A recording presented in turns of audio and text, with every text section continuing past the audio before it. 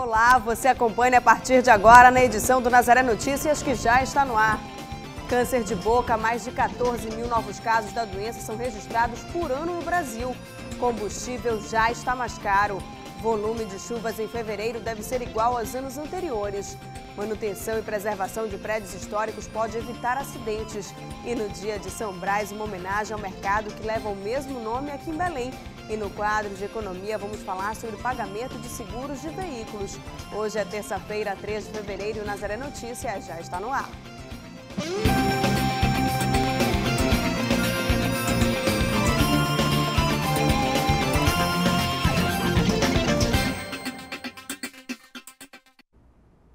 A edição de hoje começa falando de saúde. Segundo o Instituto Nacional do Câncer, mais de 14 mil novos casos de câncer de boca são registrados por ano no Brasil. E segundo a Organização Mundial da Saúde, 43% das mortes são causadas pelo consumo de tabaco ou álcool. Confira na reportagem que abre o Nazaré Notícias de hoje mais informações da doença e a importância da prevenção. O câncer de boca é uma doença silenciosa que pode ser evitada com os cuidados que a pessoa tem com a própria saúde. É preciso consultar o dentista regularmente para prevenir o agravamento de eventuais lesões. O diagnóstico precoce, assim como na maioria das doenças, é fundamental para o tratamento eficaz. Em casos avançados, o câncer pode atingir a estrutura óssea e a pessoa pode até perder parte da boca. Quando o paciente ele está com câncer muito avançado, muito invasivo, é necessário, às vezes, fazer uma ressecção das áreas ósseas onde o câncer está envolvido. Né? Então, faz a remoção do câncer com uma margem de segurança para que evite, assim, o paciente ter uma outra lesão cancerígena. No caso, mais uma invasão cancerígena. Obviamente, o paciente depois ele é reabilitado para que assim ele fique, para que assim ele tenha uma melhor qualidade de vida. Para prevenir, é preciso ir sempre ao dentista, manter a higiene bucal e evitar alguns hábitos. O câncer de boca, ele pode ter os fatores genéticos, ou seja, os fatores predisponentes genéticos, os fatores é, que envolvem o meio, no caso, pessoas que têm muita exposição ao sol, e pessoas que têm uns hábitos como etilismo e tabagismo. Se a pessoa tem uma predisposição genética, no caso, ou seja, a família já apresenta alguns casos de câncer, então é, é praticamente necessário que o paciente evite ficar com, em exposição solar, ou se tiver que fazer, que tenha os devidos cuidados de protetor solar, protetor labial, e evitar fumar ou beber. Úrsula vai ao dentista regularmente, pelo menos a cada três meses, para cuidar da saúde bucal. Eu me preocupo muito em fazer higiene justamente por causa disso, porque o câncer é uma doença silenciosa. Então, por causa disso, eu me preocupo bastante. Eu sempre estou escovando os dentes depois das refeições e usando fio dental. E ainda falando em saúde, o Hospital Universitário Betina Ferro de Souza, da Universidade Federal do Pará, abriu cadastro para pessoas interessadas em fazer a cirurgia de implante coclear, que é destinada ao tratamento contra a surdez. Para ter acesso ao serviço, os candidatos precisam ser encaminhados por uma unidade do SUS. Mais informações pelo telefone 3201 7819. E vamos aproveitar então para acompanhar a dica de saúde desta terça-feira.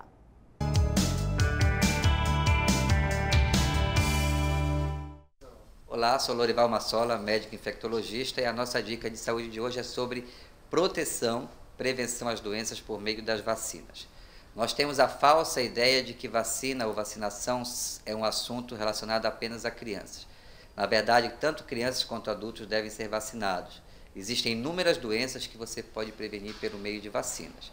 A vacina ela começa no primeiro mês de vida da criança e até a fase adulta os idosos devem ser vacinados. A melhor maneira de você saber o tipo de vacina ou que tipo de doença você pode prevenir é procurando seu médico. Então, basicamente, até os 12 anos de idade, você faz um calendário de vacinação do Ministério da Saúde e a partir disso, o adulto vai começar a ter vacinas que a gente chama de reforço para que essa proteção adquirida pelas vacinas na infância sejam mantidas e algumas vacinas específicas do adulto e do idoso. Então, a dica de saúde da semana é procure seu médico e veja como você pode se prevenir por meio das vacinas.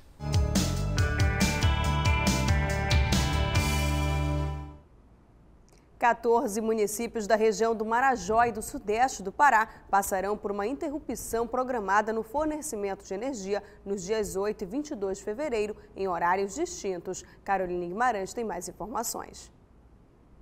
O desligamento foi solicitado pela Eletronorte para ampliação da subestação Eletronorte Tucuruí. O primeiro desligamento acontecerá no dia 8 de fevereiro, no horário de 5 e meia da manhã até 1 hora da tarde. A interrupção programada abrange as zonas rurais e urbanas dos municípios de Bagre, Breu Branco, Breves, Cametá, Limoeiro do Ajuru, Curralinho, Goianésia do Pará, Melgaço, Novo Repartimento, Pacajá, Portel e Tucuruí e a zona rural de Oeiras e Baião. O segundo desligamento acontecerá no dia 22 de fevereiro, de 11 horas da manhã até 3 horas da tarde será na linha de transmissão Tucuruí-Altamira, na região Tramoeste. As cidades onde o fornecimento de energia será interrompido são Altamira, Anapu, Senador José Porfírio, Brasil Novo, Medicilândia, Placas, Rurópolis, Trairão, Itaituba, Belterra e Santarém. De acordo com a CELPA, os desligamentos são necessários para melhorar a qualidade de energia nos municípios. Caroline Guimarães, para o Nazaré Notícias. E vamos agora falar da Operação Boa Viagem.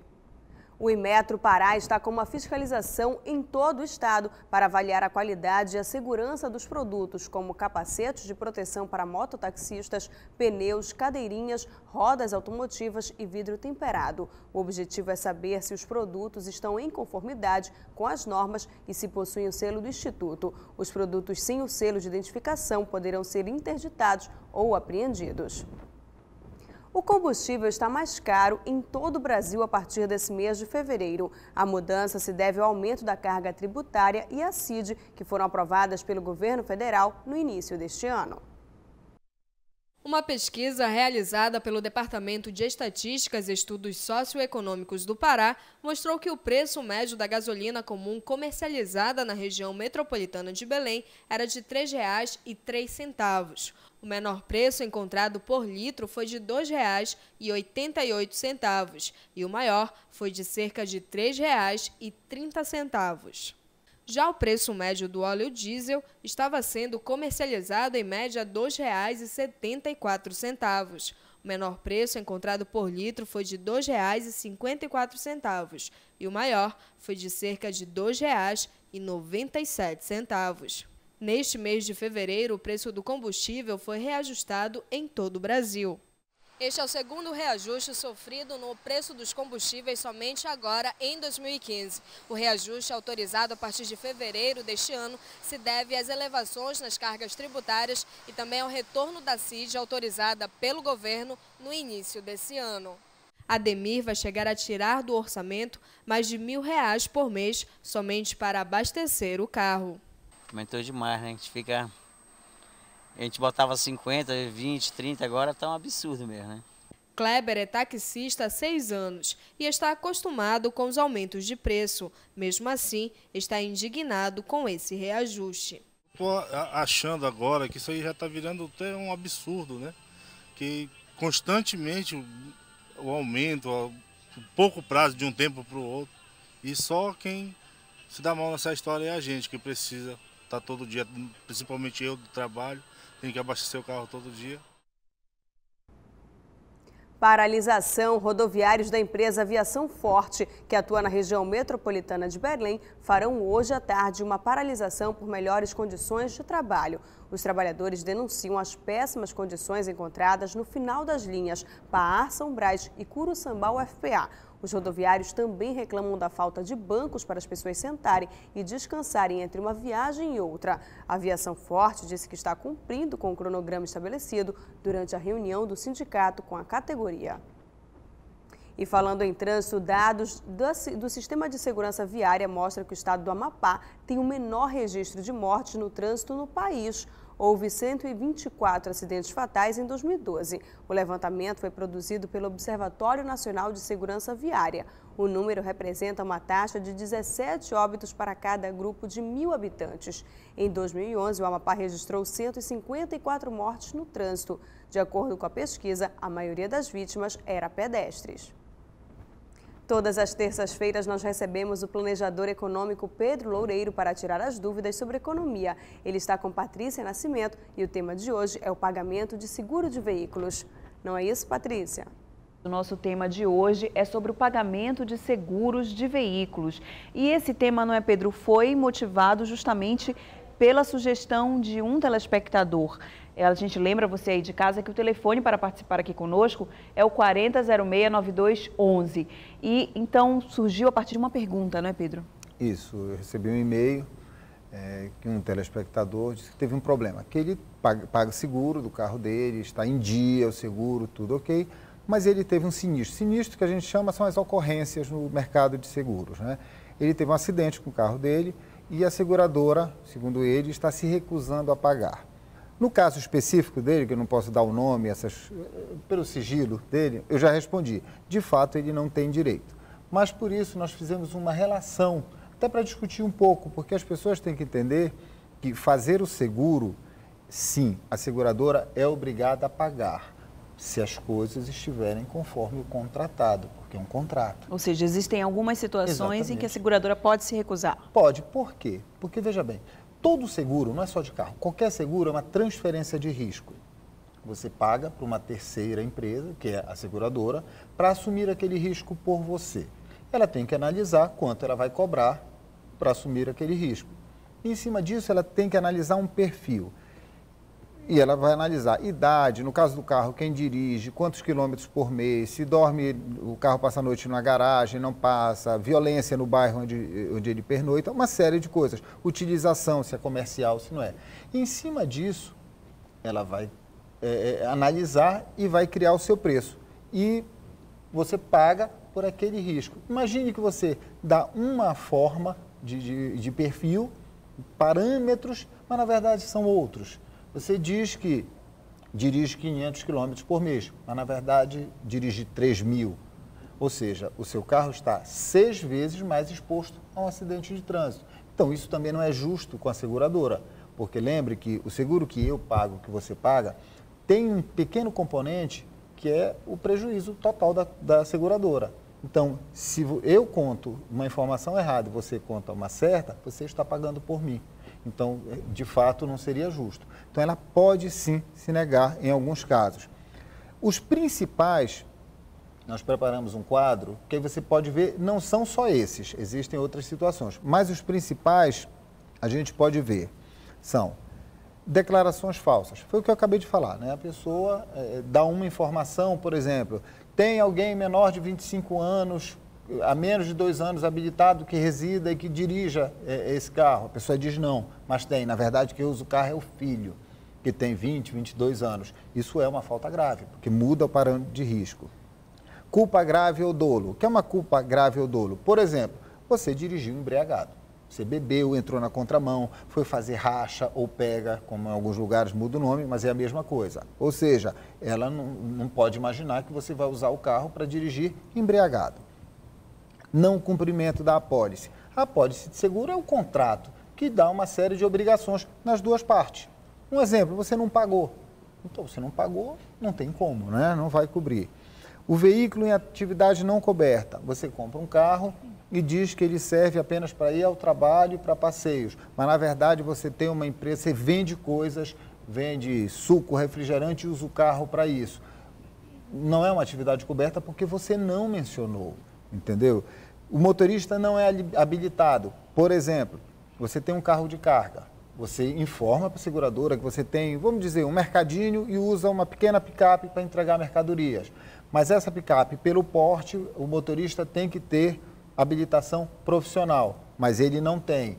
A seguradora vai entender que ele não tem capacidade técnica para dirigir aquele carro. Ela pode negar. Vítima assumir a culpa, isso é muito comum. Eu bato seu carro, você, é, eu não tenho seguro, mas você tem, a gente combina, olha, diz que foi você que bateu porque aí o seguro cobre. Isso, inclusive, é crime. E, por fim, a falta de pagamento. A falta de pagamento, aí a gente tem que entender que ela não é, não paguei hoje, amanhã eu estou sem seguro. Não é isso. Vamos imaginar que você parcelou um seguro de 12 meses, você pagou em 4 meses. Quatro parcelas. Primeiro mês está equivalendo ao primeiro trimestre. Segundo mês ao segundo trimestre. Então, digamos que você pagou a primeira, pagou a segunda, não pagou a terceira, você está seis meses coberto, porque você pagou a metade. É claro que a, a seguradora pode notificar você, pedir o pagamento da parte complementar. Se você não pagar, ela lhe dá um prazo, lhe devolve o que você tem de crédito e você tem que procurar outro lugar. Mas é, o pagamento tem que ser feito. Se não tiver coberto, se não tiver pago, não está coberto. O correto mesmo é se preocupar com a assinatura desse contrato, não é, Pedro? Analisar tudo antes para ver se você, as, as, suas necessidades estão de acordo com o que a seguradora está oferecendo. Sabe o que, que acontece muitas vezes? As pessoas querem comodidade. Comodidade é muito bom para uma série de uma série de fatores, mas para outros é muito arriscado. Tem gente que faz seguro pela internet. Hoje tem muita seguradora que você vai como quem faz uma compra de uma televisão pela internet. Veja bem, você está uma pessoa que não tem experiência com seguros negociando com uma máquina que vai acatar tudo que você disser, você pode fazer uma contratação errada. Ou muitas vezes o corretor fala por telefone e você não está entendendo bem, ou o gerente do banco. Aí você diz: não, está muito caro, baixa essa pólice. E ele começa a mexer em fatores que agravam o risco ou não, só que não te dão cobertura. Então, por exemplo, se você mudar o estado civil da pessoa, muda o valor do seguro. Porque sabe-se que uma pessoa solteira tende muito mais a desrespeitar a velocidade, alguma coisa, isso é pelo histórico, tá? não é, uma julgar, não é uma, uh, uh, julgar o caráter, mas é o histórico, do que um homem casado, com filhos. Ele, por quê? Porque ele sabe que ele tem uma esposa, tem filhos, ele se preocupa mais. Então, muitas vezes, mudando essas informações, o seguro, que é o prêmio, que é o que você paga, vai baixando. Só que você não sabe a que preço ele vai baixando. Então, é sempre negociar cara a cara, com o gerente ou com o corretor, tome o tempo dele mesmo, não, não, ele está ali, é o trabalho dele, e leia, mas leia detalhadamente, porque você está assumindo um contrato. E a seguradora está assumindo um compromisso, mas em cima das suas informações. E uma informação errada, a seguradora não tem que saber, é, é, não tem como saber se foi o corretor que mudou ou se foi você que informou errado. Mas você que está contratando. Então é ler realmente linha por linha. Tá certo, Pedro. Muito obrigada pela tua participação aqui hoje. A gente lembra você de casa que na próxima semana o Pedro Loureiro estará novamente aqui conosco. Se você tiver alguma sugestão de tema aqui para as nossas entrevistas, você pode ligar para o 4006 9211. Obrigada, Patrícia. Obrigada, Pedro. 5 mil caranguejos foram apreendidos em Bragança, no Nordeste do Pará. Duas empresas no município foram autuadas por armazenar e industrializar o caranguejo sá durante o período do defeso. Os animais foram devolvidos à natureza. Um inquérito policial foi aberto para apurar a conduta das empresas. O chamado inverno amazônico chegou mais tarde esse ano e deve se estender até o mês de maio. A previsão é que este mês o volume de chuvas seja igual aos dos anos anteriores. Um milímetro de chuva equivale a um litro de água por metro quadrado. Uma hora de chuva com 60 milímetros é considerada aquela chuva torrencial. O nosso chamado inverno amazônico chegou mais tarde, as chuvas que eram esperadas no período do Natal não chegaram. Para compensar, o mês de janeiro foi de chuvas fortes em Belém. O inverno na região litorânea ele demorou muito devido principalmente às condições oceânicas. O Oceano Pacífico e o Oceano Atlântico Norte não estavam favoráveis a desenvolver nuvens que propiciasse o nosso início do período chuvoso em dezembro e, consequentemente, não tivemos a presença da zona de convergência intertropical e mesmo o mês de janeiro foi chuvoso é, pontual, ou seja, em área localizada do estado do Pará. No mês de janeiro de 2015, na região metropolitana de Belém, foi registrado um volume de chuvas de 502,5 milímetros. 30% acima da média calculada nos últimos 30 anos, que foi de 385,5 milímetros. Já na região litorânea do estado do Pará, onde era esperado um volume de 200 milímetros, só choveu 40. Nos municípios de Bragança, São Caetano de Odivelas e Santo Antônio, por exemplo, os produtores rurais foram orientados pelo IMET a esperar o mês de janeiro para iniciar o plantio.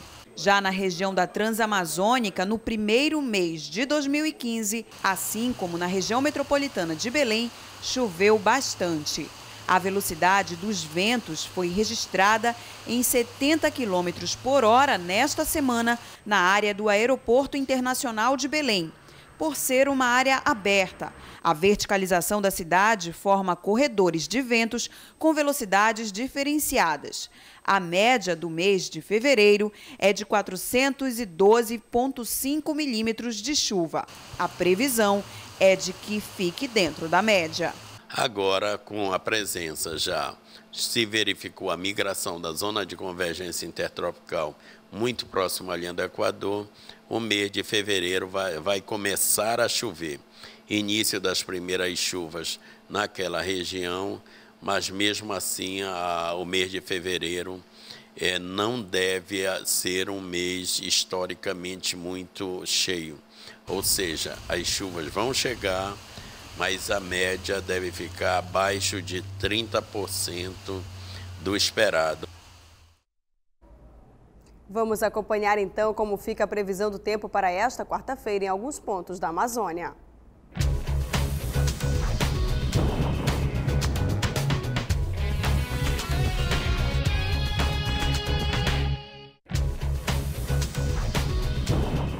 Em Igarapé-Açu, no estado do Pará, a quarta-feira deverá ser fechada e com chuviscos. A temperatura mínima pode chegar a 24 e a máxima a 31 graus. No município de Capanema, também no Pará, o dia será encoberto e com chuva fraca. A temperatura mínima fica em 24 graus e a máxima pode chegar a 29.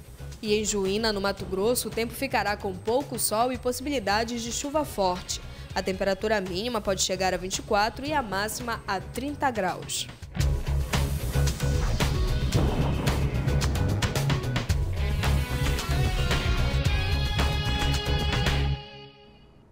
Educação termina hoje o prazo para os candidatos que foram aprovados nos cursos oferecidos pelo SISU fazerem a matrícula. O candidato que não fizer sua matrícula ou apresentar a documentação correta perderá a vaga. O candidato selecionado deverá verificar, junto à instituição de ensino em que foi aprovado, o local, o horário e os procedimentos para a matrícula.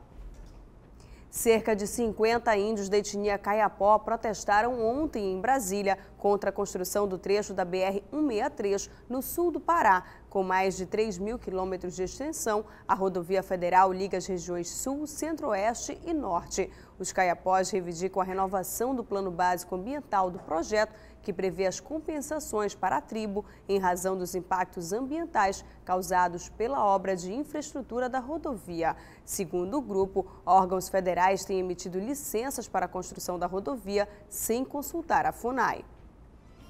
E você acompanha ainda nesta edição. Manutenção e preservação de prédios históricos pode evitar acidentes. No dia de São Brás, uma homenagem ao mercado que leva o mesmo nome em Belém. Voltamos com Nazaré Notícias falando sobre mais um protesto. Cerca de 350 trabalhadores sem terra ocupam desde ontem o prédio da Secretaria de Educação de Marabá, no sudeste do Pará. Eles protestam por melhorias nas escolas da região. A secretaria enviou uma equipe técnica para avaliar as escolas. Os manifestantes pedem a melhoria para três escolas do município, duas delas localizadas em acampamentos do Movimento dos Trabalhadores Rurais Sem Terra. Na noite de ontem teve início a festividade de Nossa Senhora das Candeias no bairro da Marambaia, em Belém. A abertura da festividade foi marcada com uma procissão luminosa que reuniu os membros da comunidade. A comunidade Nossa Senhora das Candeias iniciou seu período de festividade na noite de ontem. Uma procissão luminosa tomou conta de algumas ruas no entorno da capela. A imagem de Nossa Senhora das Candeias, ou da Luz, como também é conhecida, foi levada por membros da comunidade localizada na Marambaia. Padre Ronaldo de Menezes, pároco da igreja, foi quem presidiu a missa de abertura da festividade. A pequena capela ficou tomada por fiéis e devotos de Nossa Senhora das Candeias.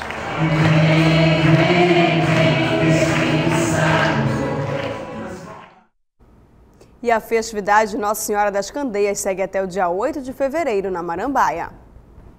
As chuvas se, se intensificam na capital paraense nesse período. Com isso, aumenta o risco de casarões antigos desabarem. O IFAM realiza ações para evitar essa situação e também recebe denúncias. Mas é importante que os proprietários se responsabilizem pela manutenção desses prédios históricos. São cerca de 7 mil imóveis tombados no centro histórico de Belém, alguns em bom estado de conservação. Outros, no entanto, tornaram-se um problema. Eles ficam abandonados e sofrem a ação do tempo, da depredação e da natureza. Nesse período de chuva, há grandes riscos de que venham abaixo. Com certeza, se o casarão tiver numa situação de abandono, é, tem que avaliar e ver se, se, se corre esse risco. Com certeza ocorre, sim. Os casarões do Centro Histórico de Belém são tombados como patrimônio histórico da cidade e a manutenção desses espaços é de responsabilidade do proprietário. O IFAM tem uma missão que a gente diz que é jurídica, né, de preservar a história, a memória né, do patrimônio aqui cultural da cidade aqui, inclusive Cidade Velha e, e, bairro da Campina, são os dois bairros que foram tombados, né, em total. Né? Então o, o IFAM tem essa missão de preservar, mas é a missão jurídica né, de preservar a memória. Agora, cabe cada proprietário manter o seu bem. Para fazer com que esses lugares se mantenham, o IFAM realiza algumas ações. As ações que o IFAM realiza, é, quando é identificado que o bem está correndo esse risco, é procurar o proprietário, notificar o proprietário, para chamar no IFAM e, e cobrar dele a manutenção do bem. São muitos os processos que existem no Instituto para localizar e cobrar dos proprietários os cuidados com os casarões. Essa resposta tem sido muito difícil, né?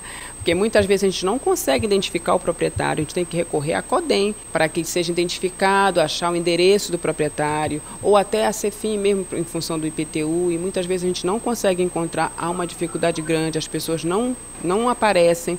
Quando a gente consegue identificar, notificar, muitas vezes não, não retornam ao IFAM para solucionar o problema, né? E quando não tem jeito mesmo, a gente recorre até à Polícia Federal para nos ajudar a encontrar os proprietários que deixam a casa em abandono. Os casarões antigos e sem o cuidado devido são uma grande preocupação, não apenas com a perda de parte da história da cidade, mas também com a segurança das pessoas que residem ou circulam próximo a esses lugares.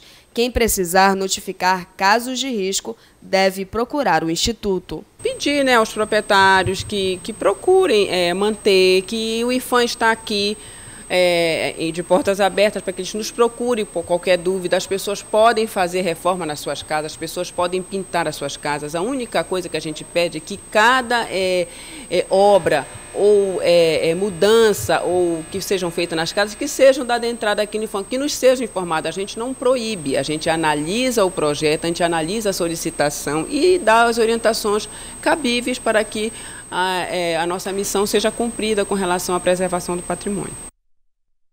E o telefone do IFAM aqui no Pará é 3224 1825. Após expor na Rússia, Macedônia e Estados Unidos, o artista alemão Martin Youth expõe seu trabalho em Belém, morando há quase um ano na capital paraense. Youth realiza a mostra pela primeira vez na Galeria Teodoro Braga, no Centur. A exposição é composta por fotos jornalísticas e gravuras sobrepostas. A estética é digital, mas o trabalho foi todo feito à mão. A intenção do artista foi extrair a função original da imagem, retirando-a do contexto jornalística e tornando-a livre para uma nova leitura feita pelo espectador no momento da exposição.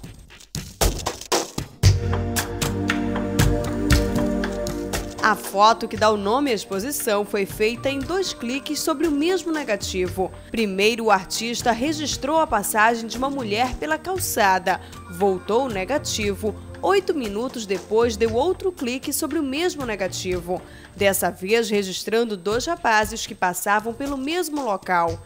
Ao revelar, o artista reuniu na mesma foto os três personagens, que se perderam por oito minutos. Das 12 peças que compõem a exposição, uma parte veio de Berlim e outra foi produzida em Belém. No exercício de extrair a função original da imagem e reunir na mesma foto personagens de tempos diferentes, a exposição se propõe a dissolver a dimensão temporal e funcional das obras.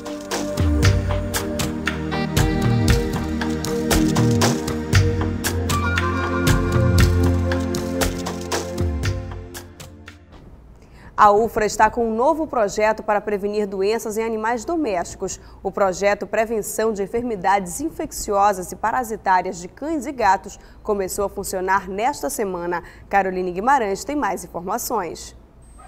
A Universidade Federal Rural da Amazônia está trabalhando com a prevenção de doenças para cães e gatos e quem coordena esse projeto é o professor Alexandre Kasseb, que está aqui ao meu lado. Professor, esse é um projeto, uma iniciativa é, da universidade. Qual é o objetivo dele?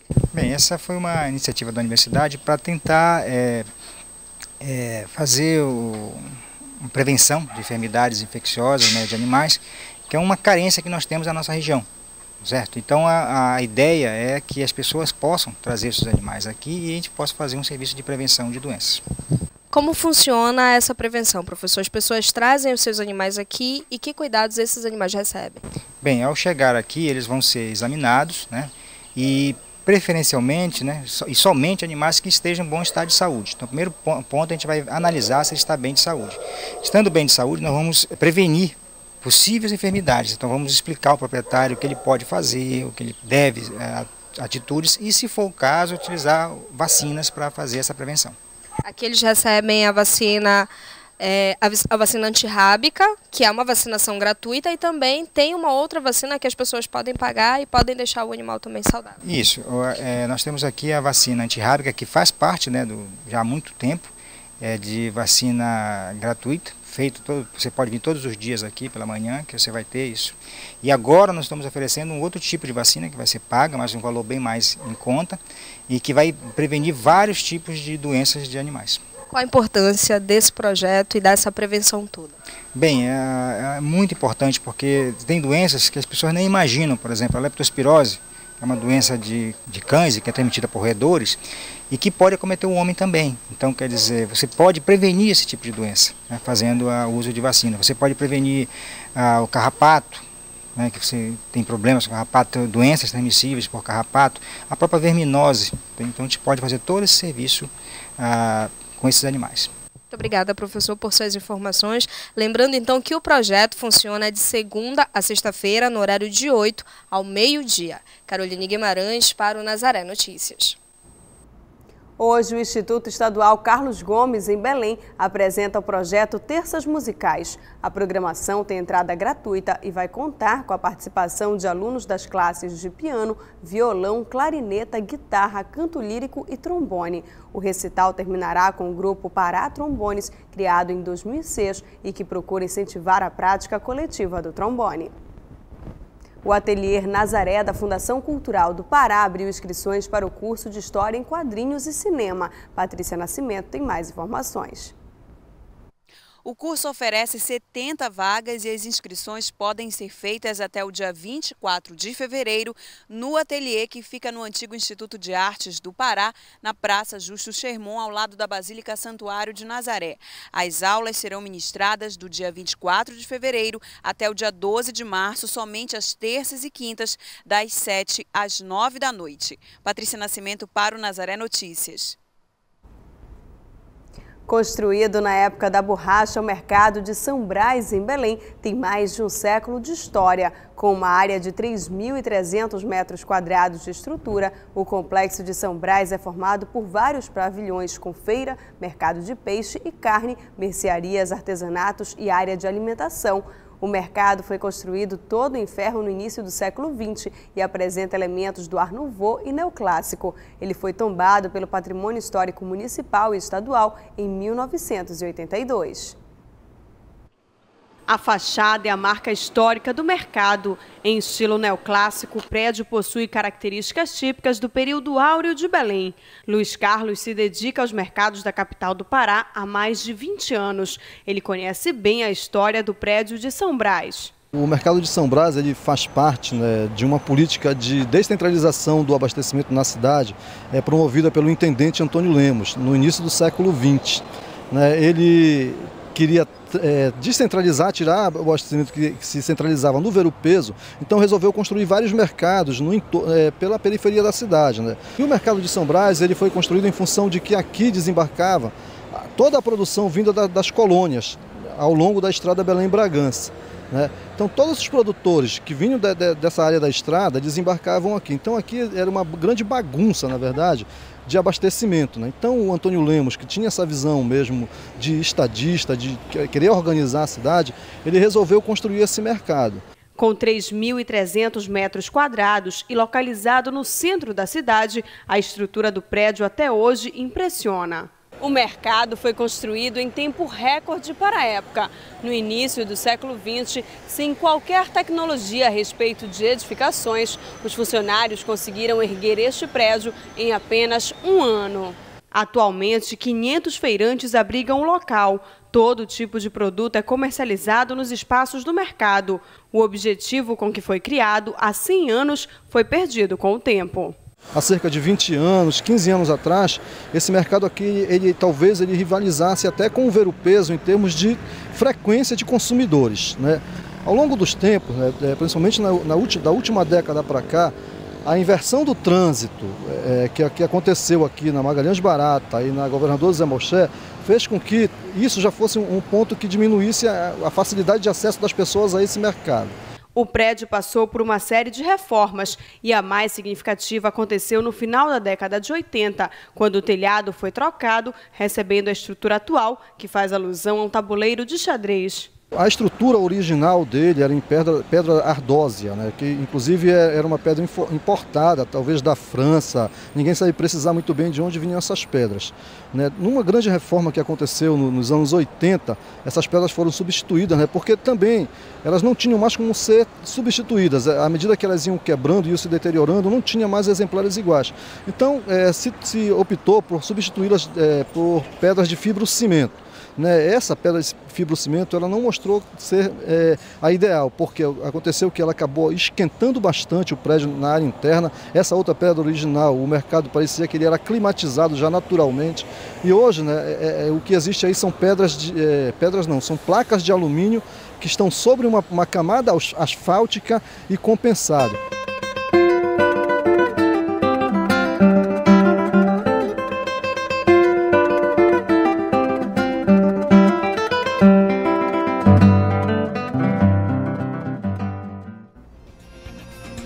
Essas foram as notícias de hoje. Para dar sugestões de reportagens, ligue para a nossa central de atendimento no 40069211. Se você quiser rever nossos vídeos, acesse o portal Nazaré, www.fundacionazaré.com.br ou acesse a nossa página no Facebook. O Nazaré Notícias de hoje fica por aqui. A gente se encontra na próxima edição. Até lá!